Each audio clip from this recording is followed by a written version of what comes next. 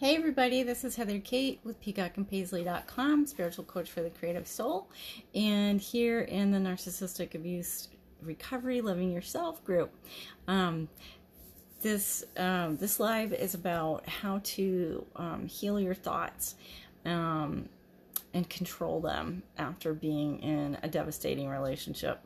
Um, it's one of the most common problems, the most fundamental problems that um, comes up because when you're in a relationship that has made you feel like you've been through, you know, the tumble cycle in the dryer, or uh, you've been tossed by a really big wave, or um, you have you feel like you're in a, in a washer, like you just keep going over and over and over, recycling things.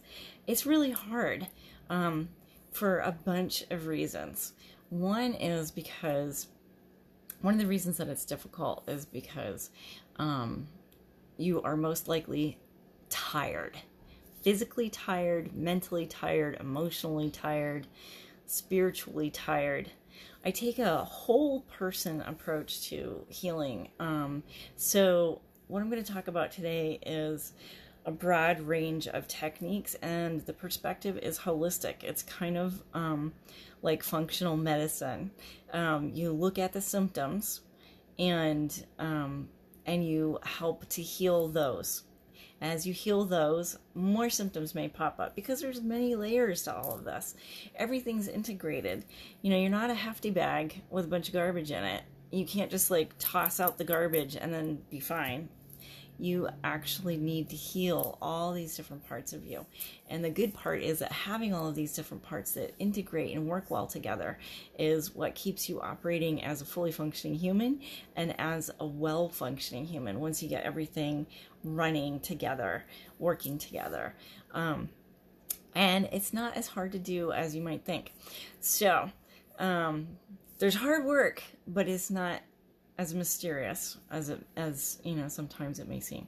So as you're watching um, whether you're live or popping in i hope you'll leave me a heart in the comments let me know you've been here.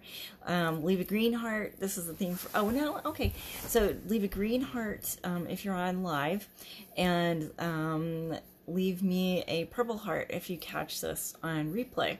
Um, and if you have questions, um, whether you have them now or, or later, definitely um, pop them in the comments. And, um, and if this is something that you think might benefit a friend, see if you can share the link. I think you might be able to share it with them, even though this is going live just inside the group. Um, because it's one of the things I found really um, fascinating and alarming is when I did some some research um, in some of the other um, some other Facebook groups with like 400,000 people in it now. The Women Helping Women Entrepreneurs group is huge. Um, I haven't been very active in there. I don't know if you guys are. If you are, let me know what you think of it. But um, and it may be where some of us actually connected. Um, but I did some research um, and I think I had 2,000 responses um, when I stopped counting. Um, and they were, yes, I know I'm in a narcissistic abusive relationship, or I think I am, and no, I don't think I can heal from the mental part aspects of it. Um, uh, most people, I'd say it was about 90% of the people that responded to me in that group and then in other groups also said that physical abuse was less of a problem for them than emotional and mental abuse um, or the damage that they, you know, had sustained. Um, I'm sorry, that's my dog having a dream with. I don't know if you can hear him woofing, but it's okay, buddy. It's okay. Um, so apparently he sort of agrees about some of these things. Um, I disagree. Um, you know, there are physical things that can happen that you cannot repair. You know, you can't replace lost body parts. Um, and, uh, you know, some of the scars and the physical pain that you can, and, you know, that is sometimes inflicted on people, you know, that's not always something that you can get away from. Whereas the mental and emotional stuff is actually something you can heal. You can, the important component to that, the, the key to that, the secret to that is to realize that you are a spiritual being. having a physical experience. And so you have to heal on the spiritual level as well as on the physical level and on the mental level, on the emotional level, all of these things. We say levels or aspects, but really they're all integrated. So, in order for you to really heal your thoughts, you've got to address the spiritual side. Um, you can check out my YouTube channel and my website and look for cord cutting. C O R D and then cutting, like, you know, snip, snip. Um, that is a simple, easy, quick spiritual technique to use to, excuse me, help you disconnect all unhealthy ties and bonds with the abuser. Um, there are so cords to explain what a cord is a cord is like an electrical cord like you know those big extension cords that are orange or yellow or you know whatever color but they're um i'm going to go with that example and then i'll explain more detail after that. Um, but it has a plug on both ends not just a plug on one end and a receiver on the other one but plugs on both ends. It plugs into you and it plugs into the other person. The thing that you want to do is unplug that plug from you. And the most important part is actually cutting the cord. Um, and then also healing and sealing. So i'll do a little a, a, a mini version right now. Um, you call in your guides your healers you know whatever your spiritual persuasion is. Um, i'm going to use archangel michael to help us. So i'll call in archangel michael please come and be with us now as we do this cord cutting, healing, and meditation. Please remove from us any and all inappropriate cords or connections um, from us. And um, we'll just go with the, the from us version right now. From us, and please help us to heal in all ways from the damage that was caused by this inappropriate cord and connection. Um, Holy Spirit, please heal us physically, mentally, spiritually, and emotionally where that cord was connected. And please heal behind that and deeper than that all of the reasons why we allowed that connection. Thank you so much. So be it. Amen. So, um, just in case you didn't know, Amen and so be it are actually um, have the same meaning. Um, and um, when you do this meditation for yourself, you can try to visualize, and it may pop into your head or it may not. Um, visualize the the nature of the cord. It could be a thin thread. It could be a tree trunk. It could be a chain. I, I've seen, you know, seen um, all sorts of different cords and different ways of connecting. Um, and you can use, if you want to do it, if you want to cut the cord, you can use whatever tool you want. That might be cuticle scissors, you know, cute little scissors. Could be, you know, kitchen shears. It could be a chainsaw. Um, it could be a flamethrower, you know, anything that you want to use. Um, and this will come to you spontaneously. This is part of your intuition. That's like a critical component of, you know, being well as a person. It's a core, you know, we talk about, um, we talk about the five senses and then there's the sixth sense. Um, and it's actually really you've got to have you've got to have your intuition working. Um, and if you have these repetitive thoughts that you may go back to the point where you go that was actually a red flag that i didn't listen to. Well maybe at the time if you be gentle with yourself you may realize it was more of a pink flag or an orange flag and you were kind of hoping that it was going to fix itself but um, uh, back to the cord cutting part. Um, it's crucial to allow um, things to pop in that are healing tools for you. Hey, welcome to the video. Um, definitely pop something in the comments if you have a question or um, a particular topic or if there's anything in particular that triggers you and I will help to address it like, you know, right now. Um, but I'm glad you're here. Um, so, hey, Amber! Thanks for the love. Um, glad you're here. Okay, so um, Amber, definitely, if you get a chance, pop something in the comments so I can help to answer things directly for you. Um, we're talking about cord cutting. I'm explaining what it is, how it works, and how using your intuition as part of that healing um, meditation and process is really crucial. Um, and uh, gotcha. Amber wants to know why is she attracted to narcissists and or is she attracted to them? There's a bunch of really good reasons. So, first of all, they may be attracted to you because they love empaths. They love anybody with solid, strong, clear, good, positive energy, which they will then work intentionally to destroy, ironically. But um, always keep in mind that this is a spiritual war. There are many battles in it, and it's spiritual. So if somebody, um, because basically they're being operated by evil, some people look at narcissism, um, you know, they talk about covert narcissism or malignant narcissism and all these different things. And I really don't see it that way. I see it as two types of narcissists. One that were evil before they came into this world, and their their straight on intention is to do evil. Um, and then there are people who um, I think have been spiritually warped and very badly hurt um, and they also become, um, you know, dangerous, harmful narcissists. So, um, why they may be attracted to you um, is good if you have good energy. Um, they admire you. They you make them look good. Um, it's all about how they can use you. Uh, disgusting as that is, that's the truth. They they want to use you, use your energy, use your resources.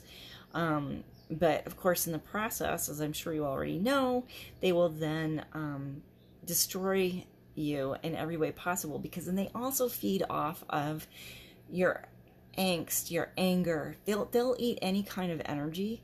Um, and that's what you are. You're like I don't know why nibbling on a corn of cob came to mind, but that's what just popped into my head. You're you're you know considered a tasty, tasty niblet. Um, and you being attracted to them um, i will say that some narcissists most narcissists are really charming.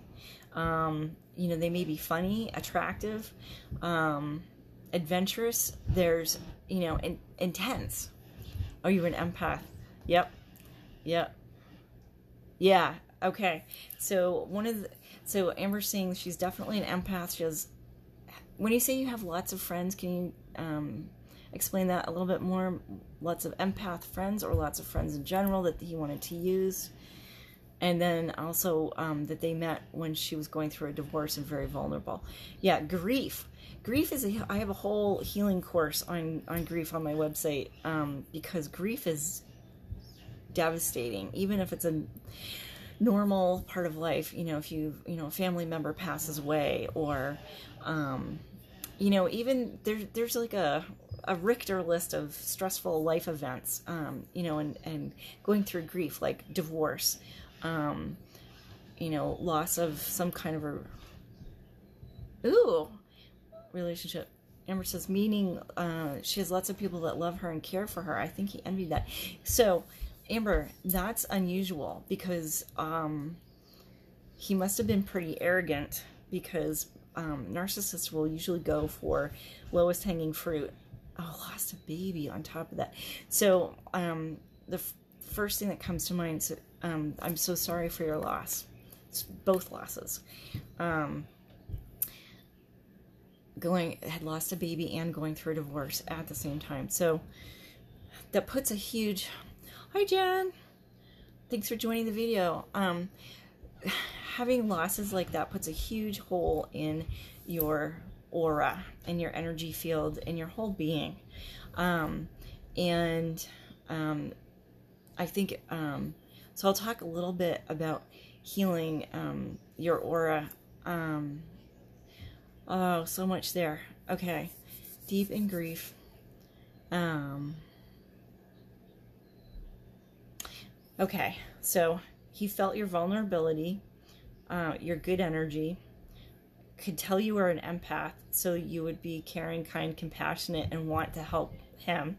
Um, and yes, so when lots of people love you and care for you, so they may, you know, a, a narcissist may go into a relationship with somebody like you, um, hoping to be around that, but also sneakily knowing that those people are going to be feeding you and you're going to be feeding him. So it's like this. it's like it's like a, it's like an MLM. It's like a down level. Like you know, one person. All he had to do was tap into one person, meaning you, and then branch out and suck off all these other people. Um, a lot of narcissists won't go for somebody that has really good, loving support because it's harder to manipulate them. But the ones that are arrogant will happily go into that and look at it as a beautiful challenge to like chop off your relationship with all these people. Um, Amber, did your relationship with them, with the people that love and, and care for you, did they did that suffer in your during your relationship with the narcissist? Um, so I don't know why this keeps coming up, but I'm going to just mention that going back to your your aura, your protective shield, you know, when you suffer grief or loss, um, that can be moving, changing jobs.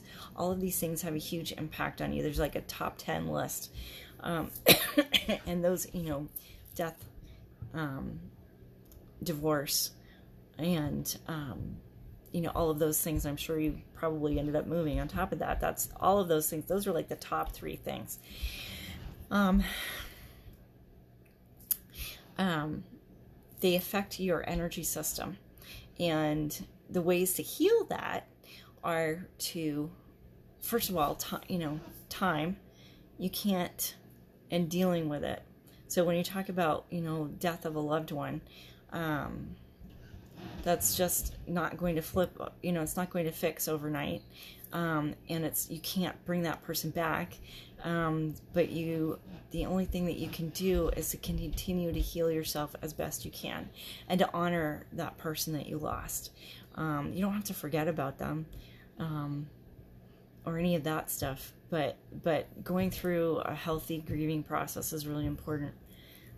Your mom really loved him. Everyone did. Yeah, they are super great actors.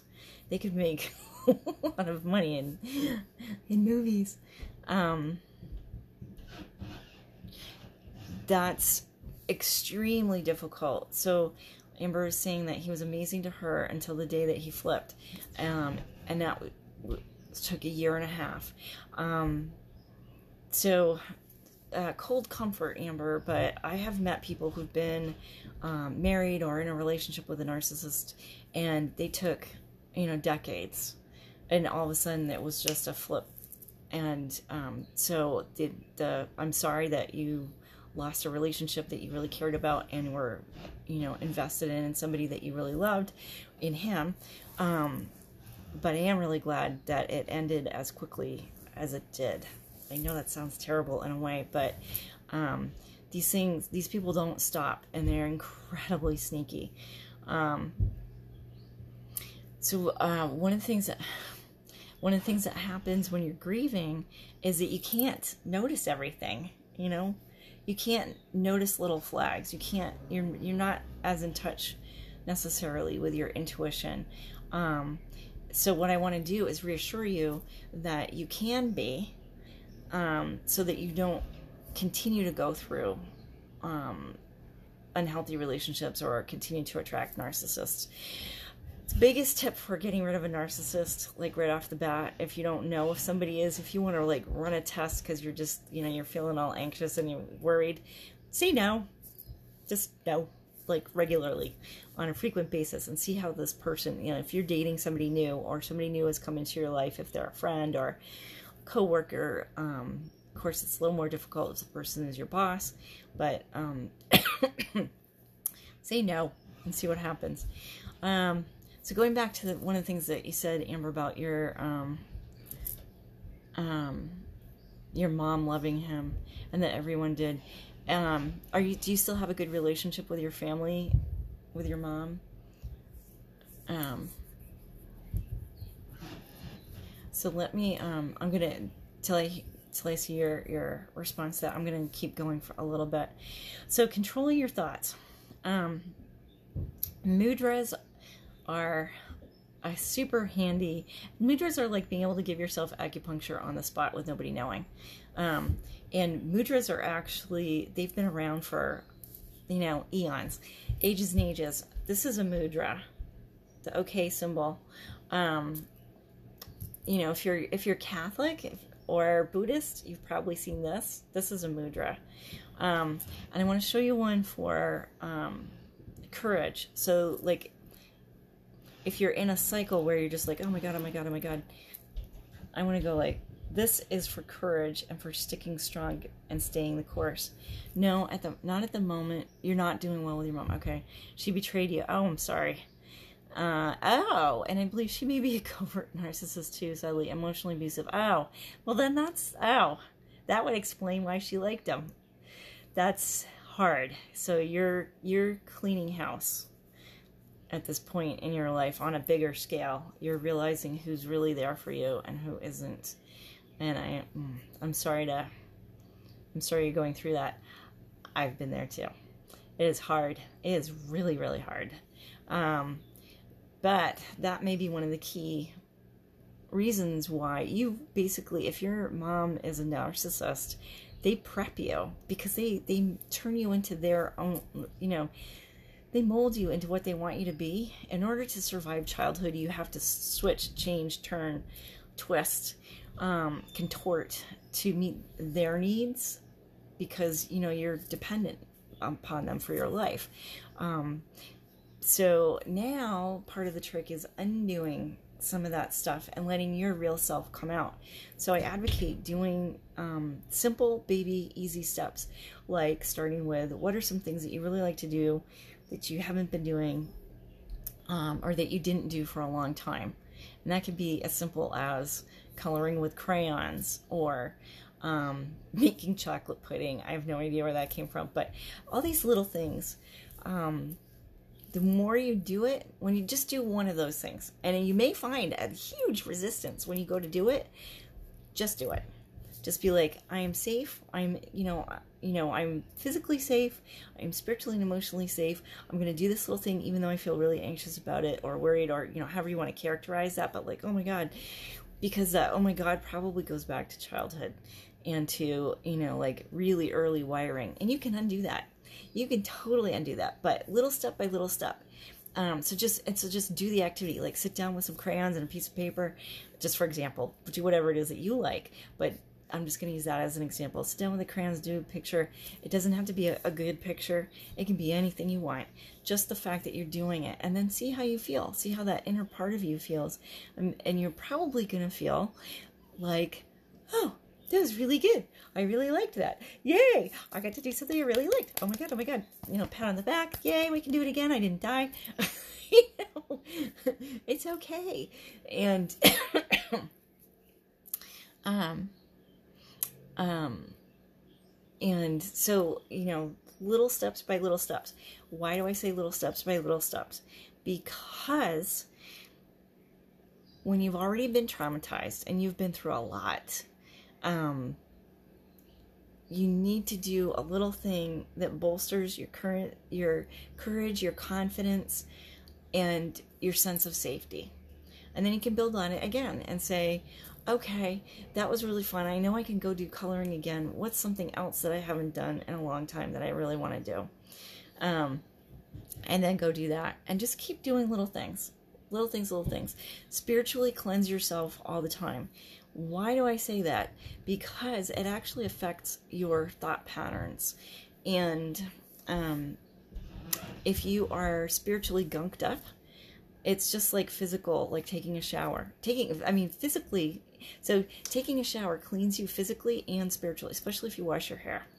Um, so wa- wash that, you know, man right out of your hair. In my case, I'm keeping the gray promise I made to myself when I was 16, health, you know, health reasons, you know, it's, I don't like toxins. Um, but, um, wash the crap out of your hair, wash it out of your thoughts, wash it off your body. And when you step out of the shower, you will probably feel lighter and cleaner and clearer. That is part of why you should do the cord cutting um, when you're starting it, you know, a couple of times a day, three times a day um, because then you will start to feel yourself, your own thoughts, your own feelings. Now, one of the more advanced aspects of cord stuff, stuff, is that someone can implant something in you, um, kind of like a light switch, a remote controlled light switch and they can actually, you know, press a button from afar and make you feel like shit. So you want to clear and cleanse your system and get all of these things out. Um, it's kind of like if you've ever been, have you ever been around, um, you know, have you ever been swarmed by mosquitoes? They, um, you know, if you, you, if just one comes into a room, a closed room, you know, you'll probably hear the mosquito. You'll be like, there it is. That's where I need to go get it. And then you can just squash it and kill it and you're done. But if there's like a lot of them, it can reach a point where you're like, I really don't know how many there, there are. I don't know where they are. I can't get them off me. I can't keep them off me. Um, and, you know, at a certain point, that kind of like spiritually speaking, that gets internalized. And you're just like, I don't know. I just hear a constant hum all the time. I don't know what it's from anymore. Well, it's because you need to clear the, I'm just going to, um, you need to clear the, the spiritual mosquitoes out of you. You need to clear your energy field and your space because those things can manipulate your emotions and your thoughts. So it's mostly your, they can manipulate both. Um, demonic beings, whether you call them demons or some people call them jinns as like lower level evil spirit, um, or and then there are also high, you know, high level, very powerful evil spirits or beings that are involved, especially with narcissism. And it's a group; it's not just one at a time. You know, if if one gets in, then it's they open the door, and more come in. This is why I advocate not doing any drugs. So no drugs, no drinking, no smoking. Um, all of those things affect your your spiritual well-being um, and honestly they all affect your your brain straight up so you want to give your body um, and your spirit the time, space, and ability to heal themselves. And they will and they can. They just need you to remove the toxins. And this could be people, people, music, you know, violent movies, um, anything that affects you. Um, you need to do your best to clear them out of your life. Um, and um, it can be like doing an elimination diet. I don't know if anybody who's had um, food allergies, you cut back to the most core, and I have some, so I, I just hate this, but it, it works. Um, you cut back to like the core things that you know you can eat, and then you which means you wipe out, you know, most of things that you normally eat and you only eat a couple of things. Um, and then you slowly, one at a time, reintroduce one thing at a time. You know, if you think maybe I can take, you know, such and such, you have a little bit of it and then you see how you feel. But you do that only after you have reestablished a baseline. So you, when you cut out all the bad stuff, then you start to feel what you feel like when you feel normal. And it may be that you've never really had normal, normal in your life you've never had the opportunity to be at normal, or now you do, and you are creating it. You're allowing yourself, you're allowing all the gunk and the nasty and the hurt to flow away, to fall off, whatever it is that visualizes best for you. Um, and then, um, and then you you just gradually you'll be able to better sense when something or someone isn't good for you. Um, so I'm gonna go back to your initial question, Amber, which was I want to know why I attract narcissists or am I attracted to them? Um, so the part about why are you attracted to them? Yes, they're usually really charming, attractive, you know, they're usually good looking, sexy. Um, sometimes they can be funny. Um, and, um, but also, you know, if you suspect. So at this point, if you're suspecting your mom's a narcissist, she probably is. Um, those are patterns and styles that you're familiar with. Um, and if you're an empath, then probably, you know, part of your life mission here on, on earth in this incarnation, and probably in all of your other ones, was to try to heal people. Um, and if you understand, um, you know, to a certain degree, maybe not fully consciously, but if you were understanding what um, you know, about your mom, and you may want to help somebody to not be that way because you know fundamentally that your mom's, you know, hurting and damaged. All narcissists are. Um, except the ones that are like super ultra evil and came in evil on purpose. Um, but that's that can be part of what attracts you to them also. Um, so I'm going to wrap this up pretty soon, um, Amber. But if you have another question, please go ahead and ask it. Um, and uh,